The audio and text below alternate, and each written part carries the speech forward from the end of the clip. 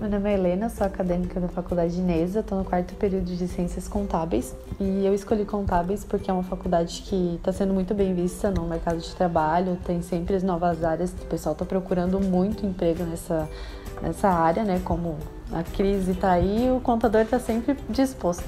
E é, a faculdade de, de, contábeis ela tem muitos mitos, né? Porque o povo acha que é só conta, exatas, mas não, ela abrange também o social. A gente aprende sociologia, psicologia, a gente aprende a lidar com as pessoas, né? No meio social, no meio do trabalho, né? Porque isso é muito é, essencial no nosso dia a dia, porque a gente convive com muitas pessoas. Eu estagio na área já e é muito importante você estagiar, fazer o estágio. É, eu super recomendo. Nossos coordenadores estão sempre disponíveis né, para tirar suas dúvidas, apresentar a faculdade, a turma. E é só chegar aí que a gente está para responder vocês.